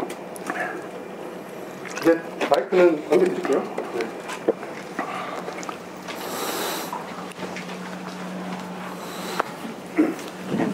그래서 잘 들었습니다. 네. 저 2학년 때 학교에서 아, 네네네네네. 네네. 그런 그 감정이에요. 네. 제가 질문 드리고 싶은 거는 저도 요즘에 뭐 스냅챗이나 네. 어떤 동영상들이나 콘텐츠 같은 거 봤을 때 그 콘텐츠에 대한 집중 지속 시간이 1분 내외라는 걸 봤어요. 네. 그 안에 모든 걸 다 압축시켜서 넣는 게 추세라고 들었는데 저는 아직까지 저널리즘의 어떤 내용적인 측면이 과연 그 1분 안에 동영상에 들어갈 수 있을까? 라는 고민이 계속 들고 네. 그렇게 들어간다면 그 안에서 분명히 왜곡이나 아니면은 어, 생략이 있을 것이다 라는 생각이 들어요. 네. 제가 아까 그 마차 패러다임에서 느꼈던 게 네. 과연 그걸 다 꾸겨 넣는 것만이 정답일까? 아니면 아예 애초에 패러다임 바꿔야 되는 걸까에 대한 고민이 있는데 네. 그 짧은 시간에 들어간다면 그게 저널리즘이 아닐 것이라고 하는 생각이 네네. 그 마차 패러다임인지 아니면은 네. 좀 그것에 대해서 의문이 있어요. 예. 그런 말 하면은 방송 기자분들은 기분 나쁘겠지만 방송 PD들은 기자들 보면서 멍청하다고 항상 얘기를 합니다. 멍청하니까 멍청한 뉴스만 만들고 있다고. 어, 이건 비하하는 건 아니고요. 그만큼 짧은 9시 뉴스를 봐가지고 과거엔 그런 얘기를 했어요. 또 저기 무슨 저널리즘인가. 긴 텍스트 분석 기사를 봐야 저널리즘이지. 뭐 맞는 말일 수도 있고 틀린 말일 수도 있는 거죠. 그리고 어 1분 영상에 있으면 왜곡이 발생할 수 있다. 전적으로 동의합니다. 다 스낵업을 하다고 얘기할 수도 있는 거고요. 근데 문제는 봐야 될 것은 이제 그러니까 우리가 17세기, 18세기를 분석을 해보면 모든 사람들이 단테의 신곡과 어, 어, 게트의 파우스를 읽었던 건 아닙니다. 많은 사람들의 당시에 그걸 하면은 소비됐던 책들을 분석하면은 약 한 70%에 80%는 포르노그라피하고 정치 팜플렛밖에 읽지 않았다라는 거예요. 사실은 많은 사람들이 소비를 갖다가 깊은 기사만 하지는 않습니다. 그러니까 어떤 기사의 목적에는 1분 안에 해야 되는 것이 흔히 말하는 investigative journalism이냐 아니면 그걸로 가기 위한 하나의 미끼냐 lead 상품이냐 이런 거에 대한 대- 정의가 되게 중요하다고 저는 생각이 들어요. 그러니까 페이스북에 사람들이 막 스크롤 하면서 영상을 엄청나게 봅니다. 여기에서 눈에 띄어가지고 아 이걸 갖다 30분 보는 경우는 아무리 메시지가 좋아도 그럴 일은 없겠죠. 근데 그 1분을 통해서 30분을 볼 수 있는, 20분을 볼 수 있는 또는 long-form 그러니까 저널리즘을 갈 수 있는 motivation 줄 수 있겠죠. 이런 것을 잘하는 것이 복스 미디어의 에즈라 클라인이죠. 에즈라 클라인 같은 경우에는 설명 동영상, explained라는 것을 만듭니다. 그걸 만들었던 그 당시 고민이 뭐였냐면 그걸 이제 SBS에서 모방하면서 설명 동영상을 만드는데 거기까지만 딱 갔던 거죠. 에즈라 클라인이 가졌던 고민은 뭐냐면 어떻게 내가 만드는 이 좋은 기사를 분석 기사를 사람들이 보게 만들 것인가. 처음부터 이걸 들이밀었더니 안 보더라는 거예요. 너무 늘 길어서 그러한 짧은 것들 속에서 내 스- 스트리밍 안에 내 것이 피드 안에 내가 들어가니까 내 기사가 들어가니까 사람들이 건너뛰더라는 거예요. 글은 좋지만 다음에 읽어야지 저장 버튼은 누르지만 어, 페이스북 보면 17째 17개째 읽지 않고 저장하고 계십니다 이런 메시지 뜨잖아요. 이런 것들이 계속되는 것을 어떻게 해결할 수 있을 것인가? 아하 쉽게 설명해 주자. 그래서 이- 이거를 보게 되면 모티베이션이 생길 거다. 다른 걸 멈추고 긴 것을 읽을 수 있는. 이것도 저는 하나의 솔루션이라고 생각합니다. 계속해서 솔루션을 찾아내야 되는 거죠. 이렇게 짧게 짧게 보고 있는 이 세태를 욕할 것이 아니라 그렇게 욕하려면 인류는 욕해야 되는 대상밖에 안 된다는 거예요. 인류의 역사가 그렇다는 거죠. 모두가 진지한 걸 봤던 거예요. 그렇기 때문에 이러한 모바일 환경 속에서 이렇게 짧게 짧게 보는 것에서 어떻게 긴 저널리즘, 분석 저널리즘으로 가는 길들의 길목에다가 방향 표시를 잘 해주면서 이 길로 가게 할 것인가. 그래도 저는 10% 20%밖에 안 올 거라고 저는 생각이 들어요. 그래도 많이 하는 겁니다. 원래 추적 60분 많이 보지 않았습니다. 원래 investigative 저널리즘 많이 읽지 않았고요. 뉴욕 얼마 전에 뭐 워싱턴 포스트에서 며칠 전에 어젠가요?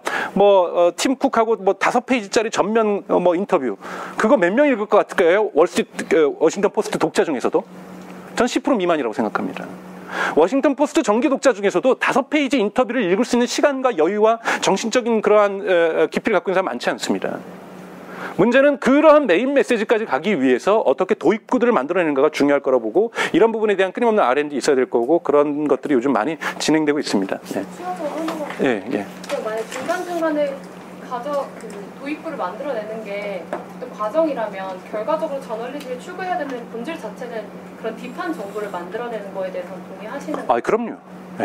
저널리즘이 저는 가장 중요한 것은 비판하고 성찰하고 임팩트 주는 거라고 저는 생각합니다. 그러니까 그런 부분에서는 변함이 없는 거고요.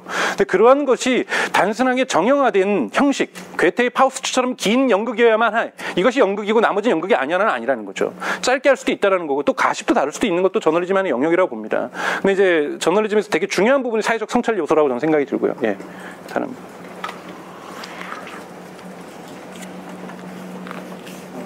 네.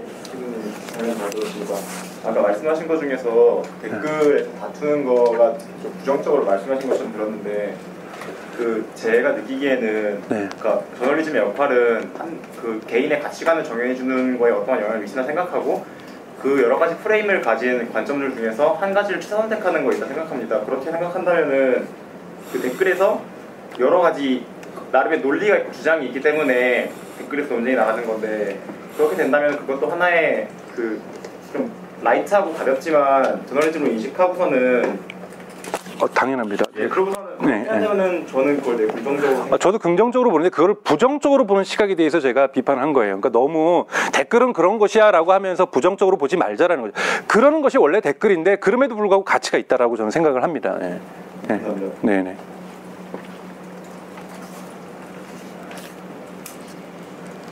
누구 드려야 되죠? 가까운 데 먼저 다. 네, 네.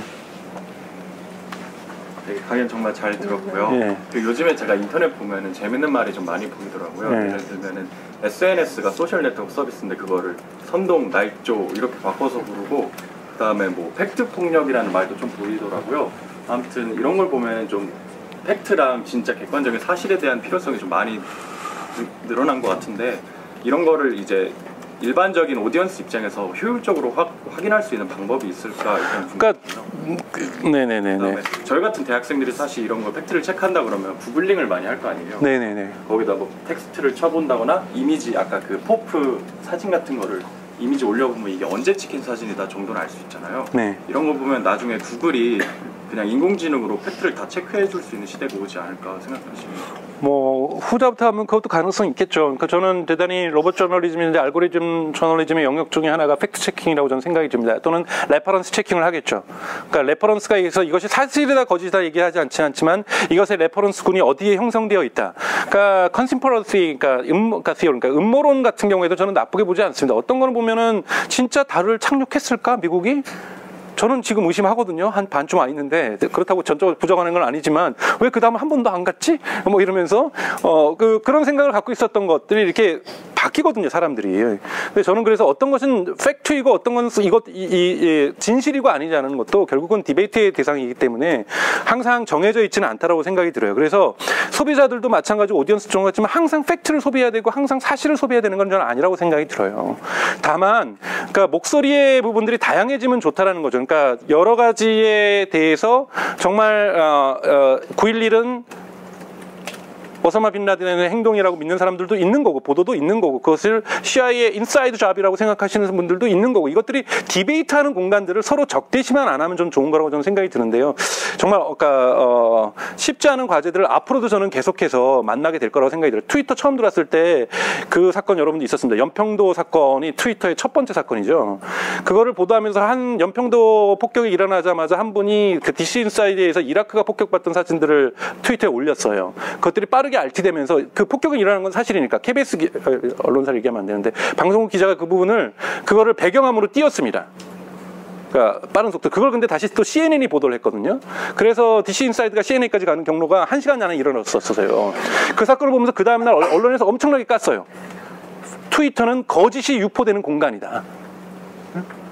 아니죠. 팩트 체크 안 한 기자의 잘못인 거죠.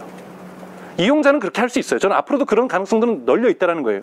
그래서 대단히 중요한 것이 더욱더 중요한 거 아까 전에 초반에 말씀드렸죠. 팩트 체크가 더욱더 중요하다는 건데 이용자들한테 팩트 체크를 다 맡길 수는 없습니다. 그냥 이용자들은 자기가 보는 선택적 인지를 하는 것은 저는 맡기는 어려울 거라 보고요. 얼마나 건강한 저널리즘이 중간에서 그것이 정치적으로 보수적이든 진보적이든 끊임없는 팩트 체크 속에서 이러한 디지털 공론장에서 중재적 역할을 해줄 것인가 어, 이런 부분이 더 중요하다고 생각하지 이용자 하나하나가 믿는 것은 너네는 거짓말을 믿고 이것을 만들어내는 페이스북은 유 트위터는 뭐 구글은 네이버는 다 잘못된 거야. 그래서 현 정부 그런 걸 시도하죠. 뭐 마치 그런 거를 자동적으로 detection 해가지고 이 사람을 고발하고 이거를 트윗하면은 고발하고 이런 거는 저는 잘못된 거라고 생각해요. 이용자는 충분히 그럴 수 있습니다.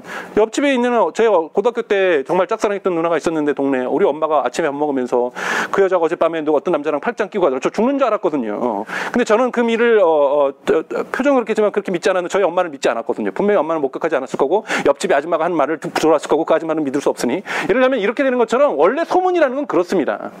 원래 소문이라는 것은 확인할 수 없는 다양한 이야기들이 사람들이 이야기 속에서 진행되는 거고 이것이 디지털에서는 information cost가 줄어들기 때문에 엄청나게 얘기할 거라는 거죠. 이거 이거 하나마다 흔들릴 필요는 없다라고 저는 생각이 들고요. 저널리즘의 역할도 그걸 다 체크해 주는 것이 아니라 우리의 목소리나 우리의 주장에 대해서는 끊임없는 자꾸 이용자하고 커뮤니케이션은 저는 대단히 중요하고 앞으로도 많이 해야 되는데 그러다 보면은 기자들이 이용자 입장에서 들어가다 보면 팩트 체크 안 하는 경향이 되게 많아질 수 있기 때문에 그 부분은 경계해야 된다고 저는 생각이 듭니다. 예. 네. 네.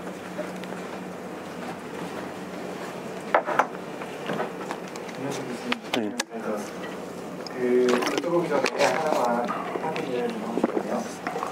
그 선생님이 연대 커뮤니케이션 연구소에 계셨고 혁신 저널리즘 네, 네. 예, 예. 아, 맞습니다. 네네. 이전에 어, 광고 시장의 무게 중심이 인터넷으로 이동하는 건 호텔의 잘못이 아니고 근본적으로 정의신문과 방송의 광고 효과보다 인터넷의 광고 효과가 더 크기 때문 네네. 말씀하셨잖아요. 그 관련해서 조금 질문 드리고 싶은 게 제가 얼마 전에 쿼츠라는 네네. 뉴스를 깔았어요. 네. 그것이냐면 메신저처럼 알고 있습니다. 네네. 네. 근데 그 갖고 있는 회사가 150년 가까이 된 애틀랜타겠죠. 네. 네. 이 쿼츠라는 건 앱을 설치를 해야 저희가 볼 수 있다는 점에서 자발적 로그인이라고 네. 네. 볼수 있는 네. 거고 네. 그렇습니다. 그 애틀랜타 미디어는 역사 네. 볼수 있는 신뢰, 소스 인프라를 다 갖춘 네. 기성 언론 네. 이 쿼츠라는 앱은 기성 언론이 가진 가장 트렌디한 방식이라고 볼 수가 있잖아요. 네. 저는 이거랑 비슷한 거를 구글 뉴스 앱이라고 보는데요. 네. 가장 트렌디한 플랫폼이라고 볼 수 있는 구글에서 뉴스 앱을 설치해서 보면 기성 언론사로 쏴주죠. 네. 그, 그 다음 포털처럼 가져와서 댓글 달기 하는 게 아니라 공식 홈페이지 네. outlink로 하죠. 네. 네. 네. 네. 야, 근데 이런 신뢰성은 역사에서 오고 그런 기성 언론들은 문제는 수익 구조가 광고랑 밀접하게 관련이 있잖아요. 근데 이 구글은 애드센스 또한 가지고 있는데 네. 선생님께서 보시기엔 구글 뉴스 랩이 이제 미래 뉴스 서비스요. 네. 디지털 네. 저널리즘에서 어떤 영향을. 어, 그거는 저도 잘 모르죠. 구글이 어떻게 역사적으로 발전할지에 대해서 예측을 제가 함부로 할 수 없는 것처럼. 근데 예를 들면, 어, 그러니까 나라마다 방식이 있는 거죠. 한국에서는 구글 뉴스라는 것 자체가 크게 이제 많은 사람들이 애호받지 않지만 특히 유럽에서는 되게 영향력이 크거든요. 그러니까 유럽에서는 우리나라 포털 수준은 아니지만 독일 같은 경우는 한 30%에서 40%가 첫 번째 뉴스 서비스의 경로로 구글 뉴스라는 걸 서비스를 하고 있습니다. 거기는 알고리즘에 의해서 작동되고 있지만 구글 알고리즘에는 신뢰도 측정이라는 그 factor가 되게 파라미터가 되게 크게 들어가 있거든요. 그래서 이것을 만드는 언론사가 지금까지 신뢰도가 어떻게 되어 있었고 예를 들면 fact check는 얼마나 잘하고 있는지도 실제로 그 파라미터의 알고리즘에 작동을 하고 있어서 나름대로 구글 뉴스도 어, 한국에서는 어떤지 모르겠지만 해외에서는 신뢰도가 되게 높게 평가를 받고 있고 그렇기 때문에 소비자들이 이제 보는 거겠죠. 근데 그런 식으로 소비해 주는 건데 구글 뉴스도 마찬가지겠지만 로그인을 하긴 합니다만 사실 그 알고리즘이 제가 알기로는 그렇게 어, 개인화되어 있지는 않는 걸로 알고 있어요. 그래서 사람들의 어떤 취향 이나 이런 것의 분석 사실은 구글은 그걸 또 많이 갖고 있지 못하기도 하고요. 그러니까 서치의 어떠한 비헤비어 데이터는 갖고 있지만 페이스북처럼 어떤 음악을 듣는지 뭐 이런 부분들이 물론 상대적으로 많이 갖고 있긴 하지만 절대적인 양에 있어서는 페이스북에서 많이 뒤쳐져서 이런 개인화되는 어떤 필터 서비스를 만들기는 어려울 거라고 보고 있는데요. 여하튼 근데 구글 서비스가 어떻게 진화할지는 그거는 이용자들의 판단이라고 저는 생각이 드는데 구글에 갖고 있는 전 개인적으로는 유튜브 요즘 변화하고 있지만 많은 DNA가 구글이 조금 안드로이드를 갖고 있긴 하지만 PC적이라고 저는 생각이 들어요. 서비스의 뭐 많은 특징들이. 그래서 개인적으로 어떻게 진화할지는 그건 구글의 몫이라고 저는 생각이 들고요. 사실은 뭐 여러 가지 노력들을 같이 혁신의 노력들을 하고 있죠. 요즘 최근 하고 있는 AMP 같은 거. 그, 어, 제 영어 발음이 정말 안 좋은데 Accelerated Mobile Page라고 하는 이러한 AMP라든지 뭐 페이스북으로 치면 인스턴트 아티클과 같은 거죠. 이런 식으로 해서 계속해서 변하는 환경에 적응을 하려고 하고 있는 걸로 알고 있어요. 그래서 뭐 특히 한국에서는 모르겠지만 서구에서는 유럽이나 북미 쪽에서는 구글 뉴스가 어느 정도 계속해서 지배력들을 어느 정도는 가져가지 않을까라고 생각하고 있습니다. 네, 다른 예.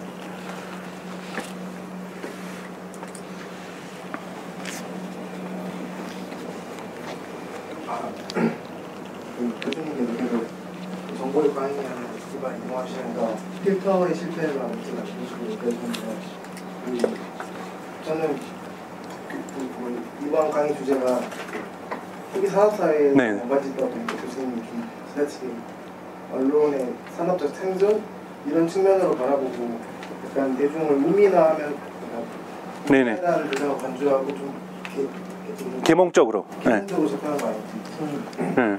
만약에 저널리즘이 산업적으로 살아가는 것뿐만 아니라 민주주의의 어떤 공여, 공헌을 해야 된다면 미디어 리터러시 교육도 무지하게 중요하다고 생각하는데 네. 그 지점에 대해서는 어떻게 생각하세요? 아, 중요하죠. 근데 미디어 literacy가 프랑스 정부가 과거에 했던 것처럼 종이신문 읽는 거는 저는 아니라고 생각합니다.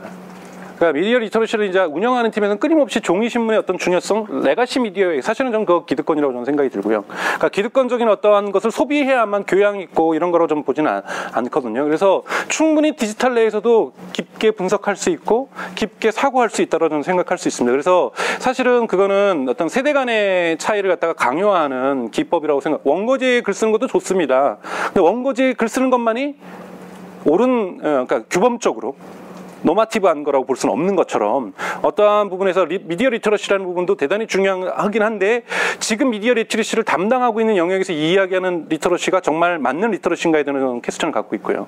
그리고 이제 산업적인 부분에서의 어떠한 부분들을 자꾸 강조하는 이유는요. 지금 그 질문이 가장 대단히 중요한 질문으로 대두되면서 그 질문에 제대로 답하지 못- 못하기 때문에 엉뚱한 것으로 가고 있는 것이 대표적으로 아까 말씀드렸던 인턴이나 파견직 또는 그 내부에서의 어떤 권력 구조의 어떤 불 합리성, 그러니까, 서- 그러니까 언론사나 방송사 내에서 그리고 계속해서 광고 비즈니스와 홍보 비즈- 비즈니스의 어떤 착각들 이런 부분들이 계속 일어나는 것은 실제로 저는 훨씬 더 저는 앙테프레너십이 필요하다고 생각하는 것은 기업가 정신이 필요한 것은 제대로 만들어서 제대로 서비스 봐서 돈 받으면 그런 그러니까 김영란법이 이런데 힘들어하지 않는다라는 거죠.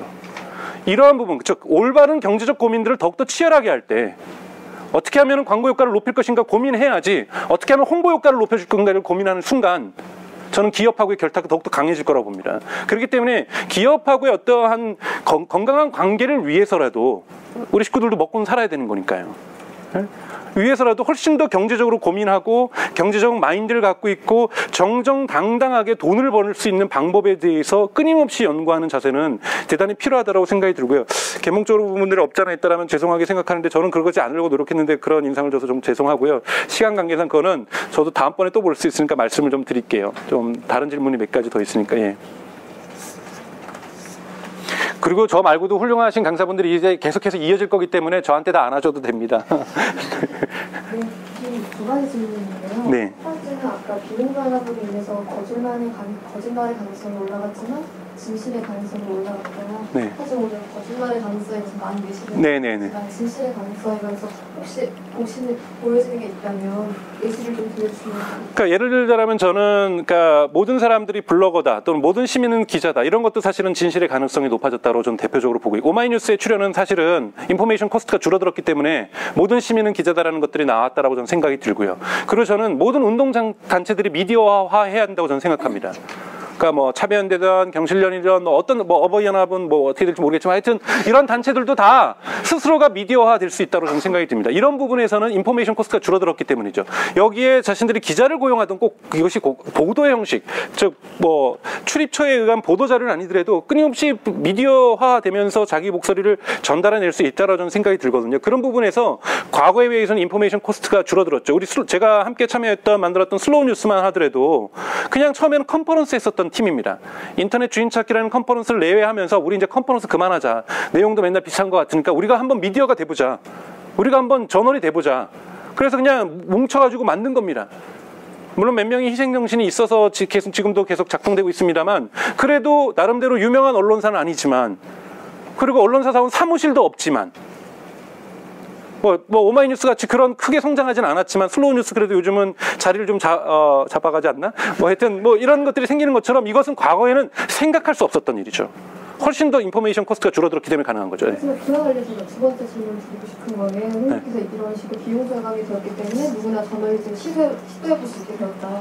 하지만 오늘 얘기하신 거에 따르면 팩트체크가 점점 더 중요해지고 있고 사람들의 시선을 붙잡기 위해서 여러 가지 새로운 영상과 영상이나 이미지가 도입부를 만들 수 있는 전문가들 기존의 언론인으로만 출국되지 않은 다양한 전문가들 필요하는데 거기에 또 다른 비용이나 새로운 노력 같은 게 필요하지 않습니까? 예, 맞습니다. 실제로 저희한테 어떤 저널리즘 어, 새로운 미디어를 창업하라고 도전을 권유하시면서 하지만 동시에 이 비용, 비용 솔직하게 이 부분 어떻게 좁히 아, 그렇죠. 대단히 중 요한 문제고 앞으로 가장 제가 풀어야 될 숙제 중에 하나를 미리 얘기해 주셨는데요. 맞습니다. 그러니까, 그러니까 예를 들면 지금도 디지털 인- 시대 오면서 지금 인터넷 언론들 되게 많다고 얘기를 하잖아요. 그래서 뭐 3인 이하, 뭐 4인 이하, 5인 이하 사업장 줄여야 된다. 지금 문화부에서도 뭐 법령 만들고 하려고 하는 이유가 자꾸 그런 사업자를 한번 줄여봐서 경쟁을 줄여버리고 싶은 부분에서 있는 거죠. 그러니까 그런 가능성이 늘어졌다고 해서 저널리즘이 양질화되는 건 저는 아니라고 생각합니다. 그러니까, 그러니까 이상한 저널리스트들도 많이 생기는 거죠. 뭐 그것도 저는 사실이라고 보는데 그렇다고 해서 그거를 3인 이하 사업장으로 막는 건 되게 넌센스라고 생각하지만 임팩트 있게 저널리즘이 의미 있게 작동하기 위해서는 많은 비용이 들어갑니다. 특히 동영상의 문법을 만들어내는 엄청난 R&D 비용이 남, 남을 거고요. 그래서 들어가고요. 그래서 지금도 동영상 많이 만듭니다. 언론사들도. 어, 뭐 view도 많이 나와요. 뭐 저작권을 위배하든 뭘 어떻게 하든지 뭐 뭐 요즘 보면 SBS도 가끔 피키스러워져 가지고 저작권법 어디 해외에서 나왔던 거 그대로 또 하면서 하고 다 하고 있어요 지금 다 하고 있- 있는 이런 모습들을 보면서 근데 그렇다고 해서 그것이 임팩트를 증가시키지는 저는 않는다고 보거든요. 리치는 임팩트를 증가 저는 상관관계 있다고 생각하지 않습니다. 그렇기 때문에 이러한 임팩트를 만들어내기 위해서 많은 R&D 비용이 들어갈 거고 결국은 여기에는 소수의 저널리즘 프로젝트들이 살아남을 거라고 생각이 듭니다. 여기에서 특히 올해가 해외에서는 많이 나오는 것이 버즈피드나 복스가 앞으로 장기 지속 가능한지를 할- 어, 판단하는 한 해가 될 거라고 얘기를 해요. 뭐냐면 모바일로 이동하면서 생산성을 못 맞추고 있다는 거예요. 그러면서 수익 구조가 대단히 버즈피드 같은 경우는 작년에 비해서 올해 더욱더 악화될 거라고 전망하고 있습니다. 그거는 결국은 비용은 싸, 싸졌지만 여기에서 임팩트를 만들어내는 비용은 결코 간단하지 않다라는 것. 피키캐스트가 어떤 식으로 했든지 간에 지금 많은 비용이 들지만 엄청난 비용이 들면서 되게 어려워지고 있는 구조들. 이런 부분에서 결코 지속 가능한 영향력 있는 저널리즘 프로젝트가 되기 위해서는 결코 저비용으로 될 수는 없다라고 저도 전적으로 인- 인정하고요. 하지만 이것을 풀어내는 방식에 대해서 요즘 많은 사람들이 달려 들고 있고 저는 여기서 해결책이 나오지 않을까라고 기대하고 있고 그걸 위해서 노력하려고 하고 있습니다. 네.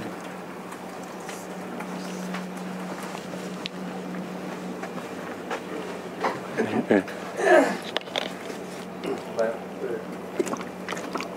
네, 교수님께서 필터라고 표현을 하셨는데 저는 그거를 이제 독자 맞춤 디지털 미디어 시대 독자 맞춤형 뉴스를 그렇게 표현을 하신 걸로 이해를 했어요.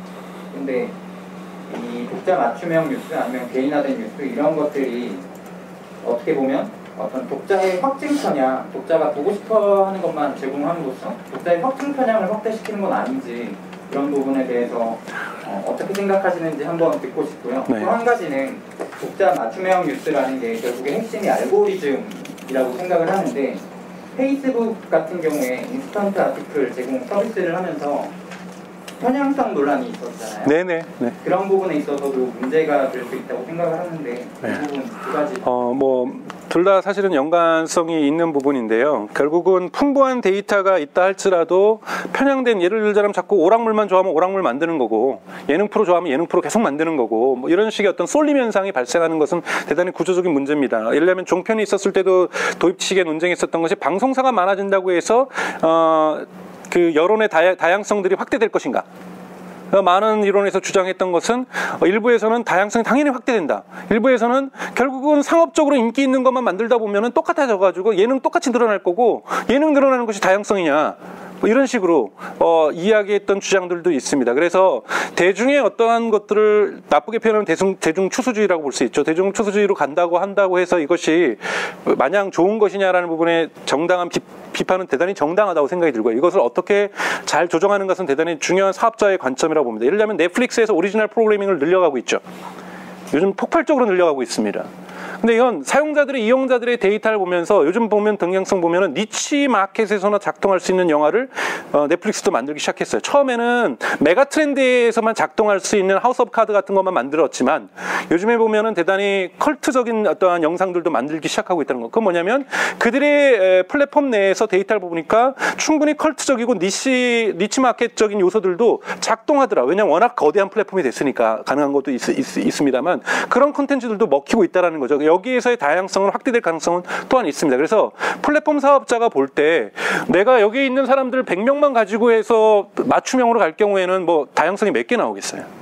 근데 정말 데이터가 풍부해지고 이용자의 규모가 확대되면 확대될수록 여기에 맞춰서 다양성은 저는 확대될 수 있다고 봅니다. 요즘 트위치 같은 경우 아마존이 인수한 트위치에서 영상도 처음에는 게임만 하다가 요즘 뭐 social eating도 나오고 뭐 먹방 한국 걸 배우는 건지 하여튼 뭐 다양하게 나오지 않습니까? 그런 다양한 niche market들은 충분히 저는 가능하다고 보고 있고요. 사실 유튜브에서 지금 작동하고 있는 많은 흔히 말하는 유튜브 스타들 같은 경우에도 niche market에서 작동할 수 있는 사람들도 많이 있다고 저는 보고 있습니다. 그래서 niche market이라는 것은 어, 이용자 베이스가 규모가 커지면 커질수록 충분하게 다양성 들은 이용자의 다양성을 통해 가지고 획득될 수 있다고 보고요. 그리고 근데 그것이 서로 교감할 수 있거든요.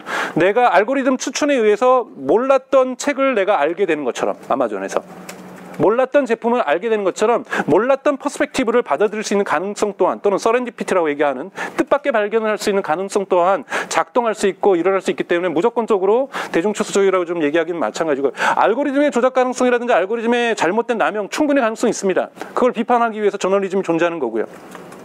워싱턴 포스트가 저는 뭐 베조스가 어, 성역은 없다고 얘기하면서 자기에 대한 것도 다룰 걸 다루라고 하지만 어, AWS가 쓰고 있는 그러니까 CIA가 대표적으로 AWS 아마존 웹 서비스를 쓰고 있죠. 이걸 저는 비판할 거라고 저는 전혀 생각하지 않습니다. 그건 오히려 뉴욕 타임즈가 해줄 거라고 저는 생각하고요. 어, 이런 상호작용이 저는 있을 수 있기 때문에 범 저널리즘으로 본다라면 페이스북에 대해서 비판도 할 거고 구글에 대해서 비판도 할 거고 네이버에 대한 비판도 할 거고 이런 비판의 기능들이 있으면서 어차피 시민들이 감시 이건 새로운 다, 그러니까 저널리즘의 영역이라기보다는 다른 영역에서 좀 논의할 부분인데요. 다른 어떤 깨어 있는 시티즌들이 저는 존재하면 존재할수록 이런 부분들은 끊임없이 비판될 것이고 이런 권력의 집중 현상 피할 수 없는 어려운 현- 그러니까 대단히 디지털 경제에서 어, 피할 수 없는 저는 현상이라고 생각하고 이 부분을 어떻게 제어할 것인가 가장 중요한 사회적 논의가 앞으로도 계속 어, 대두될 거라고 봅니다. 네. 다른 예. 가능하면 안 하셨던 분이 이제 없으니까 어. 네네 하고 끝내야 될 것 같은데요. 네. 그리고 하나 더 받으실 분 있죠? 네네네. 우리가 스타트업을 준비를 할때 네. BM을 설계하는 과정에서 네. 그 준비 과정부터 그 BM을 되게 세밀하게 짜고 들어가야 되는 건지 아니면은 네. 그 일정 궤도에 오른 이후에 그런 부분들을 고민해야 되는 건지 네네 두 개 다가 맞는 말인데 제가 어, 최근에 미디어 스타트업을 지원하는 인큐베이팅 회사를 어, 뭐 설립도 했고 또 사실은 구글 뉴스랩에서는 그런 과정들 이번에는 좀더좀 많이 하려고 하려고 하는데 좀 스타트업들이 많이 조- 미디어 쪽에서 좀 나왔으면 좋겠다는 생각인데요. 어, 비즈니스 모델은 처음부터 고민을 하셔야 됩니다만 처음부터 구현할 필요는 없습니다. 그러니까 무슨 말이냐면 어, A라는 프로젝트가 시작되면서 아 저기에는 예를 들면 가장 중요한 거는 어떠한 audience가 모여 있냐가 중요합니다. 저 audience가 확장 가능한지, 저 audience가 시장성이 어떻게 되는지, 그 audience가 확장 가능하고 시장성이 있다라면 비즈니스 모델은 차후로 미뤄도 됩니다. 그런데 저 audience가 사실은 예를 들면 나쁜 표현, 이런 표현에서 죄송합니다. 한겨레 신문의 audience하고 중첩된다. 그럼 내가 투자자라면 한겨레 신문에 투자하지 왜 여기다 투자합니까? 이미 저기가 신뢰도가 구축됐는데. 이미 예를 들면 저긴 JTBC audience하고 똑같아요. 또는 여기는 딴지의 audience 또는 김어준 씨의 audi- audience하고 똑같아요. 그럼 제가 김어준 씨한테 투자하지 여러분들에게 또 그러니까 새로운 팀에다 투자할 이유는 전혀 없습니다. 확실한 차별화가 중요하다는 거죠. 차별화가 중요하다라면 그것 자체가 저는 BM입니다. 그러니까 비- 미디어에 있어서는 이 내가 차별화될 수 있는 오디언스를 갖고 있고 차별화될 수 있는 어프로치를 갖고 있고 흉내내기 어려운 카드뉴스로 나는 어, 10대들을 300만 명 모았어요. 그럼 피키캐스트 가는 게 저는 낫습니다. 그건 의미가 별로 없다라는 거죠 이미. 그러니까 차별화되는 오디언스에다가 차별화되는 어프로치를 갖고 있다라면 투자하면 성장할 수 있다는 확신을 가질 수 있습니다 투자자는. 그런 부분에서 좀 어, 항상 차별화 포인트입니다. 굳이 제가 JTBC랑 보다 비슷할 거나 한겨레 신문 잘할 것 같으면 한겨레 신문 취직하는 게 훨씬 더 좋은 거죠. 자신감이 창업하려면 어떤 자신감까지 있어야 되면 지금 있는 legacy 미디어하고는 다르게 다른 audience를 확실하게 loyal로 충성된 audience로 내가 만들 자신감이 있고 그 방법의 길을 찾고자 할 때 창업하시는 게 맞다고 생각이 듭니다. 네. 한 분만 더. 예. 한 번만 더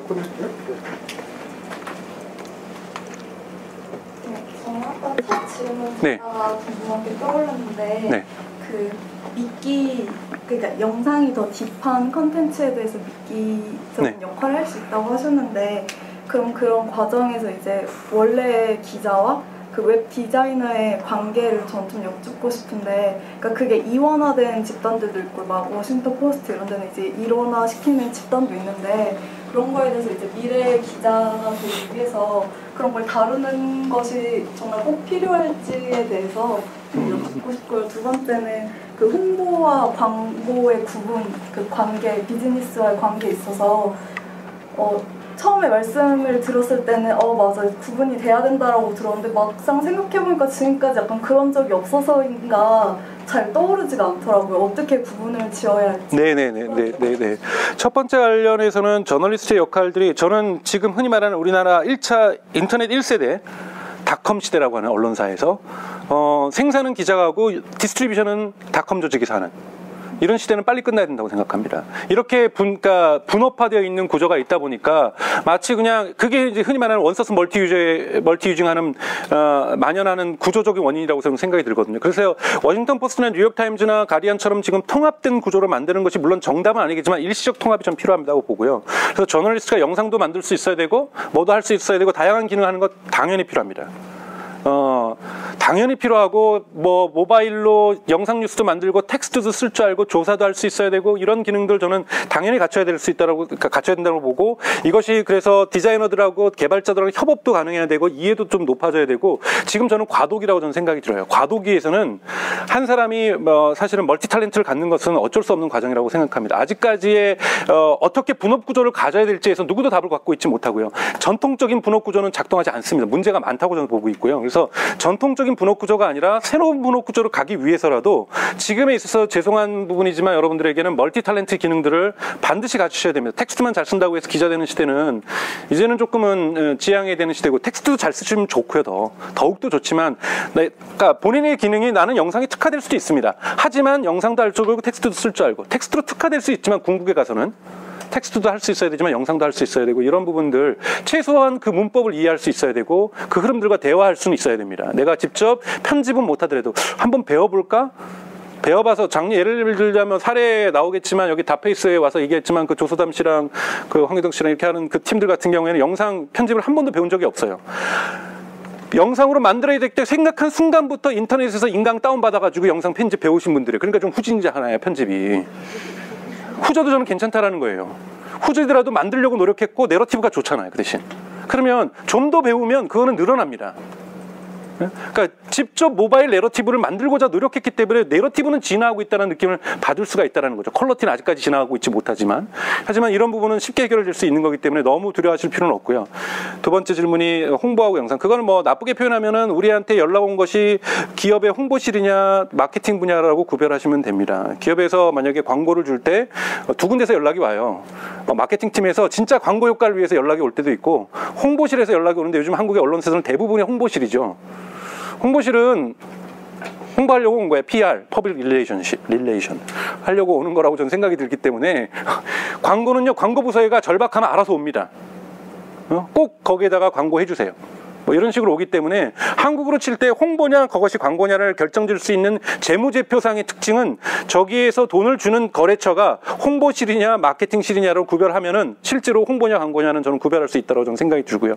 그리고 이제 원래는 물어본 것은 이제 과연 이것이 홍보성 기사부터 출장도 어디서 나와서 하고 인터뷰도 보면은 신약 나올 때 신약 개발자 인터뷰하고 대학교 랭킹한 다음에 대학 총장 인터뷰하고 이게 홍보성 기사냐 아, 그런 부분에서는 지금 홍보냐 광고냐 이런 부분들이 구별이 없어지는 문제점이 있다는 것은 전적으로 동의를 합니다.